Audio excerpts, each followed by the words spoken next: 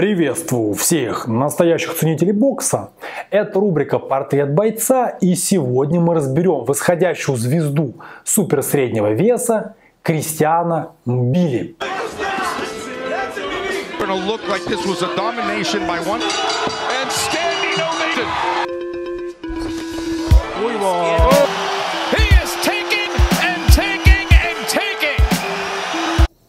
Сегодня ночью в Канаде Кристиан Билли побил Сергея Деревяченко. Он стал известен теперь широкой публике. Народ, я не хочу разбирать бой Деревяченко Билли. Я считаю это бессмысленным. На мой взгляд, такой ну, анализ боя Деревяченко Билли, он просто ну, не несет в себе никакой ценности. Просто есть боксер-ветеран, это Деревяченко – есть боксер крепкий, молодой, с большой мотивацией, это Кристиан Билли. Так было всегда, что молодые бьют ветеранов,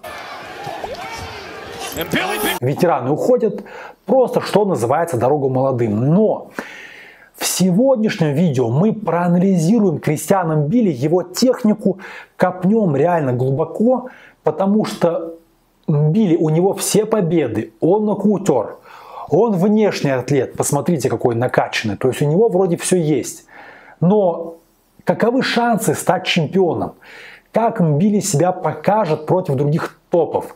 Во всем этом будем сейчас разбираться, особенно в технике бокса Кристиана Билли.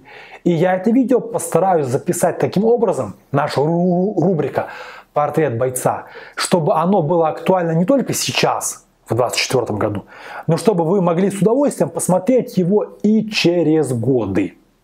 Итак, начинаем со статистики. Били ему 29 лет, у него 28 боев, 28 побед и 23 нокаута. Также рост, вес. Вес понятно, 76 200, это там, где бьется Канела. И очень важно рост. Кстати, как и Канела, Кристиан Билли, он тоже существенно ниже ну, своих соперников. То есть у него рост метр семьдесят четыре. У Канела якобы вообще метр семьдесят три. Это важно, да, то есть это напрямую влияет то, что в будущем, да и в нынешнем, и в прошлом соперники Мбили, они часто повыше него и более длиннорукие. Теперь, а, перед тем, как мы погрузимся в технику, есть две истории. Первая, она забавная, про колдуна. Дело в том, что Мбили, он же с Камеруна, с Африки, он в возрасте 11 лет приехал во Францию с семьей, он там получил французское гражданство. Сейчас в мире, насколько я понимаю, официальных данных нету, но чисто физически он тренируется в Канаде. Ну, стало быть, и живет, наверное, в Канаде тоже. Так вот, у себя в Африке подошел к молодому, даже ребенку, к Камбиле подошел колдун. Сейчас у нас эксперт будет по боксу. Один момент специалист по кондициям, опытный очень, старший сотрудник лаборатории бокса, ему уже, знаете сколько? Ему уже 15 лет. Да, вот такой вот мудрый эксперт. Сейчас, э, возможно, будет скрестись, откроем ему дверь. Ну так вот, подошел колдун к Кристиану Билли, взял его на руки и сказал, что это будущий известный спортсмен. И можно верить в колдовство, не верить. Ну, я, например, не верю, я это воспринимаю как психологический феномен, самосбывающееся пророчество. Но реально, колдун сказал, что это будет известный спортсмен. И да, Кристиан Билли уже в данный момент является известным спортсменом. А второй момент, то, что Кристиан Билли является поклонником железного Майка Тайсона и техники Майка Тайсона. И, соответственно, он Майку Тайсону подражает в ринге. Теперь, как Мбили боксирует? Я как бы не хочу, знаете, такого ну, скучного как, как бы официоза, именно суть хочу передать. В чем фишка? Во-первых, он мускулистый очень. И есть так, такое в боксе поверье, что типа мышцы, они мешают, что мышцы, они отжирают кислород. Я знаете, с чем согласен? Мышцы 100% мешают технике. Я не знаю, как это работает, но просто нету боксеров с большими мышцами, кто по-настоящему техничный.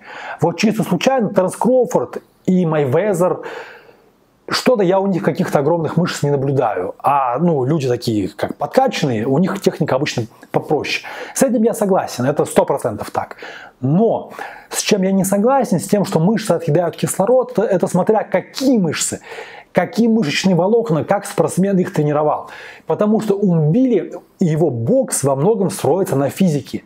То есть это просто кардиомашина. То есть да, он мышечный, но у него никакой кислород мышцы не отъедают. То есть у него там полный порядок, и он выбрасывает просто огромный тоннаж. Э, э, это как бы его первый секрет успеха. Второе, то, что он Билли подражает Майку Тайсону. Да, он группируется, у него бывает такая стойка где-то полуфронтальная, он поднимает руки высоко, он идет вперед, подсаживается, и он бьет очень много криков.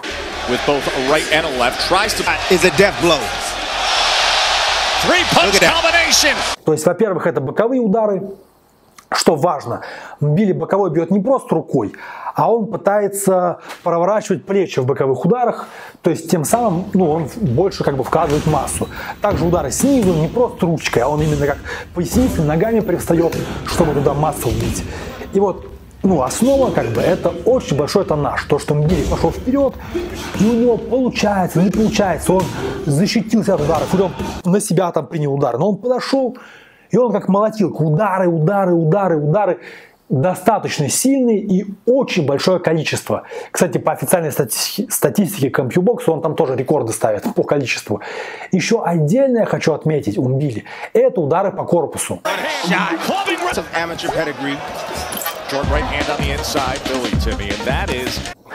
То есть э, фишка какая ударов по корпусу, что если у тебя такая манера, как у бульдозера, что ты подошел и пытаешься перемолоть, то техничный боксер, он может избежать удара в голову. И вот эти вот боковые, в которые ты вкладываешься, он раз отклонился, раз поднырнул, и ты будешь промахиваться. И он, он будет защищаться и наказывать тебя после этого. Это будет плохо для тебя. Поэтому Билли, у него большой процент ударов, это удары в корпус. Причем он в корпус часто бьет целые серии. Особенно у него есть связка правый, левый, два крюка, обратно двойка.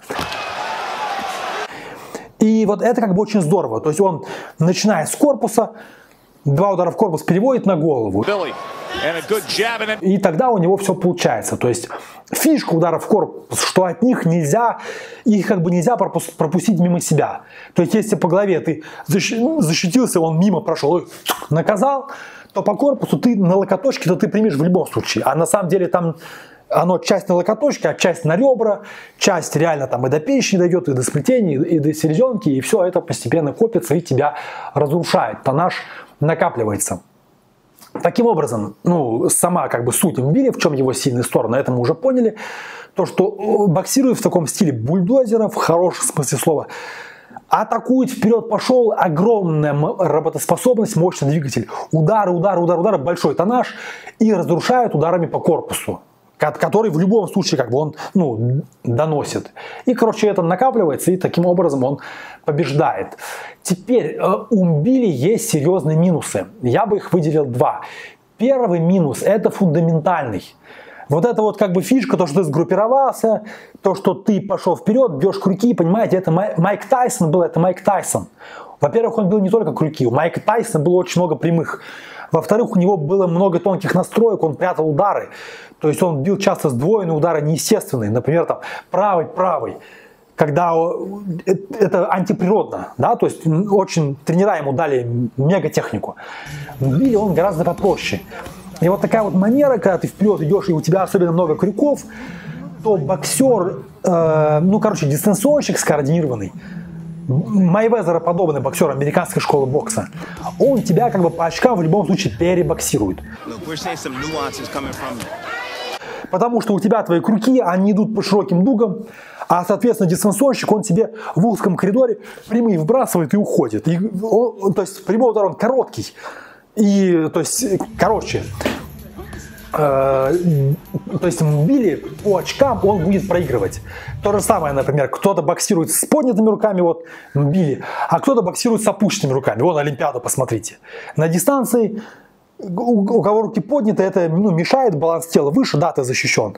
Соответственно, кто и так быстро, он еще и руки опустил. Он как бы еще ловчее становится от этого. И понятно, он расстреляет издалека и по очкам выиграет. То есть основной минус Кристиана Билли, это как бы ну, он заложен уже в его манере, то, что со своими боковыми ударами и собранный такой бокс по очкам с координированным, ловким техничным боксером он будет проигрывать.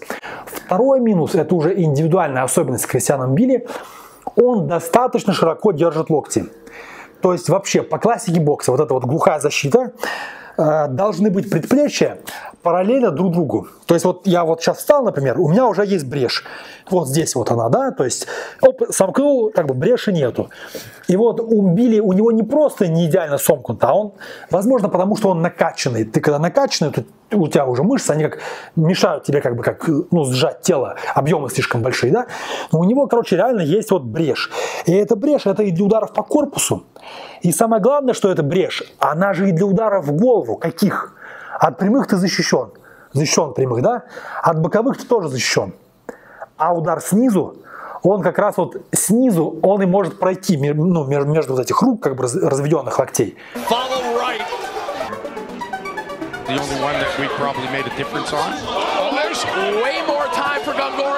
Это очень опасно, на самом деле. Это вот такая вещь, ну, довольно фундаментальная уязвимость Умбили. Давайте теперь подведем некоторый итог. Может ли Кристиан Билли стать чемпионом? Да, может, однозначно. Я, кстати, еще не про все качества его рассказал.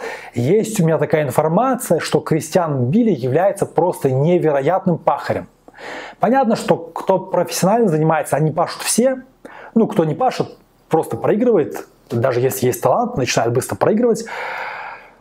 Но Билли он не просто пахарь, а он вообще вот э, сверх как бы. То есть он там пашет, пашет, пашет, пашет невероятно. То есть он просто все вообще отдает как бы бокс. Это вот у него такая особенность, повышенная выносливость. И да, есть минусы. То, что, ну, во-первых, минус это чистый его сам бокс с этими крюками, то, что он по очкам будет проигрывать с координированным ловким дистанционщиком. И второе, то, что вот ну, локти в стороны как бы разводит. Но вместе с тем у него есть его вот, ну, бокс, то, что поджал, у канатов избил, с корпуса начал, на голову перевел. И да, это все работает, и на мой взгляд, я считаю, что Мбили ему абсолютно по силам стать чемпионом мира. То есть я не вижу у него легкого пути. Вот это такой тип боксера, есть как бы талант, ну вот Бенавидес, условно говоря, это талант. А есть пахарь. Вот Мбили, я не вижу какого-то сверхталанта. Понятно, что талант есть у всех. Что там руки короткие, типа ты жестче там, э, медленный, ты там выносливый. Ну, то есть у, как, как бы у каждого свое. Естественно, у него есть талант. Он там накачанный, выносливый, такой, ну, атлетичный. Но в целом это боксер как бы не талантливый, а это боксер, у, него нет какой-то координации там очень хорошей. То есть это боксер такой именно пахарь. И вот своим как бы вот этой пахотой я считаю, да, что он способен стать чемпионом мира. Теперь, что бы Кристиану Билли следовало делать? Понятно, мы не его тренера, они там сами без нас разберутся. Но вот я это как вижу, что ему для того, чтобы быть чемпионом, ему нужно все время придерживаться алгоритма. Вот у него это, то он есть алгоритм, его видно во многих боях. Вот Деревянченко, например, он от алгоритма часто отступал. Это что значит? Вот Дерябченко, при всем уважении, ему уже 38 лет. Он не бьющий. И Билли пытался с ним боксировать на дистанции, бил по голове его своими этими боковыми, там разок промахнулся. Пролетел, Девянченко ему добавил, Билли потерялся на какое-то время. Ну, он молодой, потом быстро пришел в себя, завладел инициативой. Но как бы сама суть это попытка с дистанционщиком боксировать. Для Мбили это категорически противопоказано. То есть это был Сергей Деревяченко, а если на его месте будет какой-нибудь там Карлос Адамас или Крис Юбанк, то это может закончиться очень плохо. То есть это не то охотиться за головой с расстояния со своими боковыми. Это не то, чем следует заниматься Мбили. Как бы его бокс это по алгоритму. Какой алгоритм? Собран, идет вперед, поджимает канатом соперника, а, к нему прилипает, как ближний бой, там, ну, лучше, если канатом, если канатом не получилось, ну, просто, короче, вошел в свою дистанцию. Начинает с корпуса, то есть тяжелые удары по корпусу. По корпусу удара ну, дотягивается до корпуса. Следующий этап переводит на голову. Это вот первое. Второе. Крутые дистанционщики, они будут, в отличие от Сергея Деревянченко, они же еще и более высокие многие, они будут очень хорошо сбегать. То есть им били на них идет, а они-то как бы выше, и они как торпеду туда бросают и уходят. То есть нужно тренироваться людей, ну, отсекать, теснить. И именно есть фаза, когда ну, ты далеко, махать своими этими боковыми их там зачерпнуть, это вообще только на встречу получишь. То есть не то, как бы, да, но фишка, что есть короткие моменты, когда ты их как-то поджал, и вот они там где-то растерялись у канатов, Тут надо именно выжить максимум. Там миллион ударов по корпусу ударить, перевести на голову. Тренировать, что тебя будут хватать или выскальзывать из них, или как-то, как Канело, например, вот Канело он локтем отжимает, то есть от, от, от себя как бы отталкивать, отжимать через шею бить. Ну, короче, просто свои фазы боя, вот эти вот э, молотилово такое избиение, просто из них как бы выжимать максимум, даже где-то быть роботизированным, чтобы не нужно было думать, а чтобы именно как, короче, как робот. То есть просто вот делает свое. У него есть алгоритмы некоторые, и вот он долбит, короче, долбит по корпусу, по корпусу Получается, достает, переводит на голову, поджимает канатом, у канатов его там пытаются заклинчевать, или выныривает, атаку, а, атакует, или отжимает от себя рукой, отталкивает, атакует. И, короче, действие такая, работа по алгоритмам. Ну, вот это то, мне кажется, что Билли добавил бы эффективности. Вот у меня такие мысли. Боксер интересный, будем за ним наблюдать и посмотрим, станет он чемпионом или нет. Я думаю, что шансы, во всяком случае, у него есть. Также Winline всем новым игрокам дает бонус. Ну, во всяком случае, в 2024 году. Если вы смотрите видео вот в 2024 году, то ссылку я оставлю в первом закрепленном комментарии прямо под этим видео. Всем добра, до новых встреч, тушу камеру.